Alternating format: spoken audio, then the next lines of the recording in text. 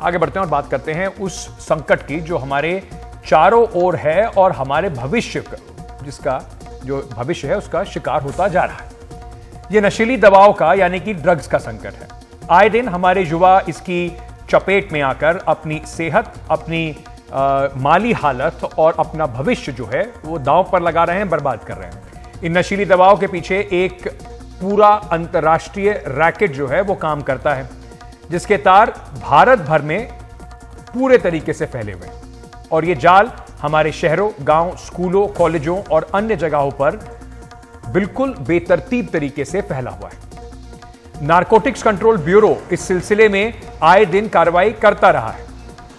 अब एनसीबी ने इस सिलसिले में एलएसडी, यानी कि जो एक पार्टी ड्रग है, उसका एक बड़ी खेप को पकड़ा है। और एक सिंडिकेट को भारत के जो जिस तरीके का उनका नेटवर्क है, उसका भांडाफोड़ भी किया है, आरोपियों को गिरफ़्तार भी किया है। एलएसडी यानी कि पार्टी ड्रग्स युवाओं की बढ़ती जो बड़ी तेज़ी से उन्हें अपना शिकार बना रही है और उन्हें इसकी लत लग रही है और भारत इसका केंद्र बनता जा रहा है। हमारे सहयोगी मुकेश सिंह सेंगर की पहले यह रिपोर्ट देखिए और फिर इस पर आगे चर्चा करेंगे। ये टिकट नशीले हैं। इनके आधे हिस्से में पार्टी ड्रग एलएसडी का पेस्ट है। पाँच टिकटों पर ज़ीरो दशमलव एक ग्राम एलएसडी, जिसे एक ब्लॉट कहते हैं। ऐसे तकरीबन पंद्रह हज़ार ब्लॉट एनसीबी ने बरामद किए हैं। एनसीबी ने एलएसडी की अब तक की सबसे बड़ी मात्रा दिल्ली एनसीआर समेत कुछ और शहरों से बरामद की है। इस ऑपरेशन में दो केसेस में छह लोगों को गिरफ़्तार किया है और लगभग पंद्रह हज़ार एल प्लॉट्स समेत अन्य ड्रग्स बरामद किए हैं। टारगेट्स को ये लोग सोशल मीडिया साइट पे लुभाते थे और वहाँ से इनका परिचय होता था। ऑर्डर्स सोशल मीडिया साइट्स के थ्रू लेते थे और फॉरेन में डार्क वेब के माध्यम से और क्रिप्टो करेंसी के माध्यम से ड्रग्स मंगाते थे। एनसीबी के मुताबिक सोशल मीडिया पर पेट्रोलिंग के दौरान उन्हें इस सिंडिकेट का पता चला। इसके बाद नोएडा, दिल्ली, जयपुर, महाराष्ट्र, तमिलनाडु और केरल में छापेमारी कर कुल छह लोग पकड़े गए। जयपुर से पकड़ा गया शख्स इस सिंडिकेट का मास्टरमाइंड है। एलएसडी आजकल युवाओं में बहुत लोकप्रिय है, लेकिन ये बहुत खतरनाक भी है। 2013 में दिल्ली के कालकाजी इलाके में एलएसडी के ओवरडोज के चलते एक लड़के की मौत हो गई थी। एनसीबी के मुताबिक भारत एलएसडी का हब बनता जा रहा है। आमतौर पे जो हमारे देखने में आया है, पोलैंड, नीदरलैंड इस तरह के यूरोपियन कंट्रीज़ में मैन्युफैक्चर ज़्यादा हो रहा है और वहाँ से धीरे धीरे इंडिया में आ रहा है और इंडिया एक कंजम्पशन हब बनता जा रहा है। एनसीबी ने सबसे पहले नोएडा की एक यूनिवर्सिटी में पढ़ने वाले एक छात्र को पकड़ा था। वो विकर ऐप से एलएसडी ले रहा था। एनसीबी के मुताबिक सभी आरोपी बेहद पढ़े लिखे हैं और जो आरोपी जयपुर से पकड़ा गया है, वो एक एमएनसी में काम करता है। देश के बाहर से आ रही पार्टी ड्रग, यानी कि एलएसडी को डिटेक्ट करना और इसके सिंडिकेट को पकड़ना बेहद मुश्किल काम है। लेकिन पिछले दो दशकों में एनसीबी ने अब तक की एलएसडी की सबसे बड़ी खेप पकड़ी है। अभी इस मामले में इसके एक और ड्रग कार्टेल की जाँच जारी है और हो सकता है कि अगले कुछ दिनों में फिर से भारी मात्रा में एलएसडी बरामद हो और कई आरोपी गिरफ़्तार हों। नई दिल्ली से कैमरामैन प्रेम सिंह के साथ मुकेश सिंह सेंगर एनडीटीवी इंडिया अब नशीली दवाओं का जो कारोबार है, किस तरीके से सीमा पार कर भारत में आता है, इसके कई उदाहरण सामने आ चुके हैं, आए दिन आते रहते हैं। 12 मई को नारकोटिक्स कंट्रोल ब्यूरो ने हिंद महासागर में एक ऐसे मदरशिप को पकड़ा, जिसमें करीब पच्चीस हज़ार करोड़ रुपए की कीमत की ढाई हज़ार किलोग्राम हाई प्योरिटी मैथामेटिन थी। मॉरिशस के जो बड़े जहाज़ होते हैं वो इस तरीके से प्रतिबंधित नशीली दवाओं को लेकर देशों में, जो दूसरे देश हैं, वहाँ पर लेकर आते हैं और बीच समुंदर से ही छोटी नाव और जहाज़ों से इस ड्रग्स को शिफ्ट कर दिया जाता है। इसके बाद इन्हें छोटी नावों को जो है, वो तटीय इलाकों में लेकर आया जाता है। एनसीबी ने ऑपरेशन समुद्रगुप्त के तहत ये ज़बरदस्त बड़ी जब्ती की थी। ये ड्रग्स अफ़गानिस्तान से आई थी। और उनकी तस्करी कुछ बड़े पाकिस्तानी तस्कर कर रहे थे। समुद्र या समुद्र जो तटीय इलाके हैं, वहाँ पर ड्रग्स की बरामदगी करने के लिए कई मामले सामने आए। इसके अलावा भारत में पड़ोसी देश, खासकर पाकिस्तान से लगी सीमा होने के कारण ड्रग्स का जो धड़ल्ले से तस्करी करने की साजिश है, वो चलती रहती है। कभी ड्रोन के ज़रिए, कभी सुरंग के ज़रिए, और हमें इसे रोकने के लिए हमेशा मुस्तैद रहना पड़ता है। बीते शनिवार तीन जून को पंजाब पुलिस ने नशीली दवाओं की एक तस्करी करने वाले दो स्मगलर्स को गिरफ़्तार किया। उनके पास 9 किलोग्राम से ज़्यादा हेरोइन बरामद हुई। पंजाब में जो जलालाबाद इलाका है, यहाँ से गिरफ्तारियाँ हुई आपको पता ही है, पंजाब में ड्रग्स की समस्या कितनी विकट है। शनिवार को अमृतसर के बाहरी इलाकों में पाकिस्तान से आए ड्रोन को गिराया गया। इससे हीरोइन लदी हुई थी। बीएसएफ और पंजाब पुलिस ने इस संयुक्त ऑपरेशन को अंजाम दिया। एक ड्रोन की आवाज़ आने के बाद जब जाँच शुरू हुई तो सुरक्षा बलों ने उसको एक खेत में नशीली दवाओं के, यानी कि हेरोइन के पाँच पैकेट पड़े मिले।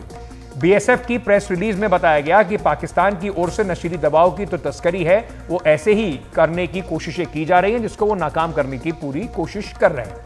इससे पहले 27 मई की रात को बीएसएफ ने अमृतसर के धनोई गाँव में पाकिस्तान की ओर से आ रहे एक ड्रोन को मार गिराया था। इसके बाद एक स्मगलर की नशीली दवाओं की खेप के साथ उसे गिरफ़्तार भी किया गया।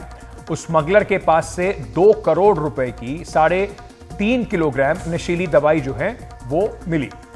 इससे पहले रवि रविवार को 21 मई को बीएसएफ ने अमृतसर में ही रात को नशीली दवाओं की दो खेप पकड़ी और एक ड्रोन को मार गिराया। 28 मई को बीएसएफ ने गुजरात के कच्छ ज़िले में तट से लगे हुए दो द्वीपों के में ड्रग्स से जुड़े पाँच पैकेट बरामद किए। इसके साथ गुजरात में अप्रैल में 28 मई तक ड्रग्स के ऐसे 41 पैकेट जो है, वो अब तक पकड़े जा चुके हैं। दुनिया में हेरोइन और कोकेन के उत्पादन और प्रोसेसिंग की तीन मुख्य सेंटर हैं। ये किस एक गोल्ड ट्राइंगल के नाम से जाने जाते हैं, जिसमें म्यांमार, थाईलैंड और लाओस आते हैं। गोल्डन जो क्रिसेंट है, जिसमें अफ़गानिस्तान, ईरान और पाकिस्तान आते हैं और तीसरा दक्षिण अमेरिका। भारत खासतौर पर पंजाब गोल्डन क्रिसेंट के रूट पर पड़ता है। संचार के नए तरीके और कनेक्टिविटी बढ़ने से ड्रग्स स्मगलरों के लिए अंतर्राष्ट्रीय सीमाओं के आर पार ड्रग्स पहुंचाना थोड़ा आसान हो गया है। इसमें मिलने वाले जो पैसा है, वो नार्को, जो टूर, जो टेररिज्म है उसको बढ़ावा देने के लिए इस्तेमाल किया जाता है, जो दुनिया भर में शांति और विकास के लिए एक बहुत बड़ी चुनौती है। ड्रग्स की जो जो समस्या है, इस पर हाल ही में Indian council of social sciences research, यानी कि आईसीएसएसआर की ओर से एक अध्ययन कराया गया, जिसका जो शीर्षक था, वो था dynamics of drug addiction and abuse in India यानी कि भारत में ड्रग्स की लत और दुरुपयोग के पहलू, अमृतसर की गुरु नानक देव यूनिवर्सिटी के पंजाब स्कूल ऑफ़ इकोनॉमिक्स के प्रोफेसर और इस और हमारे साथ इस बार doctor Ranjit Singh Chuman centre for research in कारल और इंडस्ट्रियल डेवलपमेंट के असिस्टेंट प्रोफेसर डॉक्टर गुरिंदर इस वक्त हमारे साथ जुड़ रहे हैं और डॉक्टर जितेंद्र सिंह द्वारा इस अध्ययन का, को किया गया है। इस शोध में ये बात सामने आई है कि राजनीतिक नेताओं के संरक्षण में ड्रग स्मगलिंग का जो धंधा है, वो फल फूल रहा है और कुछ नेता तो इसमें गैर कानूनी तरीके से, पूरे तरीके से इसमें लग चुके हैं। इन स्टडीज़ को पंजाब, हरियाणा, हिमाचल प्रदेश, राजस्थान और जम्मू कश्मीर में, के राज्यों में कराया गया। इस अध्ययन का मकसद ड्रग्स एडिक्शन और सामाजिक तौर पर इसका क्या असर हो रहा है? राजनीतिक आर्थिक तौर के जो पहलू हैं, उसकी पड़ताल करने का था। इस अध्ययन के मुताबिक नशे के करीब 50 प्रतिशत आदि लोग ये मानते हैं कि उनका स्वास्थ्य से जुड़ी कई समस्याएँ, जैसे कि एड्स डिप्रेशन, हाइपरटेंशन, ये सारी जो समस्याएँ हैं, वो ड्रग्स की वजह से ही हो रही हैं। हेल्यूसिनेशन भी इसमें है। तिहत्तर प्रतिशत परिवारों का मानना है कि अपने सदस्यों की ड्रग्स की आदतों की वजह से उनकी सामाजिक छवि जो है, वो खराब हुई है। तिरासी प्रतिशत लोगों का यह भी मानना है कि नशे के आदि व्यक्ति पर विश्वास करना बहुत मुश्किल हो जाता है। नशे के आदि कई असामाजिक गतिविधियाँ जो हैं, जैसे कि चोरी और खुद ड्रग्स खरीदने, बेचने के धंधे में लग जाते हैं। अठहत्तर प्रतिशत लोगों का ऐसा मानना है कि ड्रग्स लेने के उनकी व्यक्तिगत सामाजिक छवि जो है, वो काफ़ी घटी है और सत्तानवे प्रतिशत लोगों का मानना है कि नशे के आदि कहे जाने के जो नशे के लोग जिनकी आदत होती है, इसका उन्हें आर्थिक नुकसान भी झेलना पड़ता है। बयासी प्रतिशत लोग ड्रग्स एडिक्ट जो है, उन्होंने कहा कि रोज 200 से 2000 रुपए तक ड्रग्स पे वो खर्च करते हैं। बाकी 18 प्रतिशत ड्रग्स एडिक्ट्स रोज 2000 रुपए से ज़्यादा पैसा इस आदत पर खर्च करते हैं। 60 प्रतिशत से ज़्यादा नशे के आदि औसतन बीस हज़ार रुपए से ज़्यादा जो है वो इलाज पर खर्च करते हैं। 35 प्रतिशत लोग अपने इलाज पर बीस हज़ार से लेकर एक लाख रुपए तक का कर्ज जो है वो ले चुके हैं। अध्ययन में अठासी प्रतिशत लोगों ने यह भी कहा कि सरकार इस मुद्दे से निपटने की जो क्षमता है वो रखती है, लेकिन पैंसठ प्रतिशत लोगों का मानना है कि ड्रग्स से निपटने के लिए सरकार के प्रदर्शन से वो खुश नहीं है। इक्यानवे प्रतिशत लोग पुलिस की भूमिका पर संदेह जताते हैं। उनके मुताबिक भयानक भ्रष्टाचार और राजनीतिक दबाव की वजह से पुलिस ड्रग्स से जुड़े मामलों में गंभीर कार्रवाई नहीं करती है। ड्रग्स की सप्लाई चेन को काटना हो या फिर ड्रग्स की मांग को खत्म करना, ड्रग्स के आदि लोगों को नशे की लत से छुड़वाना, नए लोगों को, खासकर युवाओं को ड्रग्स से बचा कर रखना यह बहुत बड़ी एक चुनौती के तौर पर सामने है। इस शोध में शामिल डॉक्टर रंजीत सिंह चुमन इस वक्त हमारे साथ जुड़ रहे हैं। डॉक्टर साहब, मैं सबसे पहले आपका स्वागत करना चाहता हूँ और आपसे यह पूछना चाहता हूँ कि इतनी विस्तृत ये रिपोर्ट है, इसमें सबसे चौंकाने वाली बात, या ये मैं कहूँ कि चौंकाने वाली बात नहीं है, ये बात तो खासतौर से पंजाब में होती रहती है कि राजनीतिक संरक्षण और पुलिस संरक्षण के बिना इस तरीके की बड़ी तस्करी, बड़ी जो रैकेट चलते हैं, वो शायद संभव नहीं है। शुक्रिया जी मेरे को जहाँ जोड़ने का। मैं बताना चाहता हूँ कि मेरा नाम प्रोफेसर रंजीत सिंह गुमन है। और इस वक्त मैं गुरु नानक देव यूनिवर्सिटी में प्रोफेसर ऑफ़ एमिनेंस हूँ इकोनॉमिक्स में। जी। और जब ये स्टडी की थी तब centre for research in rural and industrial development CRRID में था। आपने जैसे बताया मेरे सहयोगी डॉक्टर गुरिंदर कौर और डॉक्टर जितेंद्र सिंह थे। आईसीसीआर की स्पॉन्सर्ड स्टडी थी। जी। अब जो आपका सवाल है, वो बहुत अहम है। और आपने जैसे बताया कि इसके अंदरूनी स्रोत भी है, बाहरी स्रोत भी है, जैसे गोल्डन क्रेसेंट का नाम आपने लिया है, वो पाकिस्तान, ईरान पाकिस्तान, अफ़गानिस्तान और ईरान। ये जहाँ से आता है और पंजाब जो है ट्रांजिट रूट बनता है और इससे बाकी प्रांतों को भी जाता है और बाहर भी जाता है, विदेशों को भी जाता है। जी। और जो आपने सवाल रेज किया है कि हमारी स्टडी में बहुत क्लियर किया आया है कि इतने बड़े पैमाने पर ये ड्रग का जो धंधा है या ड्रग का रैकेट है, ये पुलिस पॉलिटिशियन और बड़े स्मगलर के गठजोड़ के बिना नहीं चल सकता। लेकिन जब मैं कहता हूँ कि पुलिस और पॉलिटिशियन तो इसमें ये मत समझना कि सभी पुलिस वाले इसमें शामिल हैं। कुछ गिने चुने पुलिस वाले इसमें हैं कुछ गिने चुने इसमें पॉलिटिशियन भी हैं। और जब ये पॉलिटिशियन कल अकेला पंजाब में नहीं और प्रांतों में भी जब ये इलेक्शनों में नशे का प्रयोग करते हैं वोट लेने के लिए तब उनका जो दायित्व है जो नशे खत्म करने का वो खत्म हो जाता है। उनकी जो छवि है वो खराब हो जाती है। सो ये ठीक है।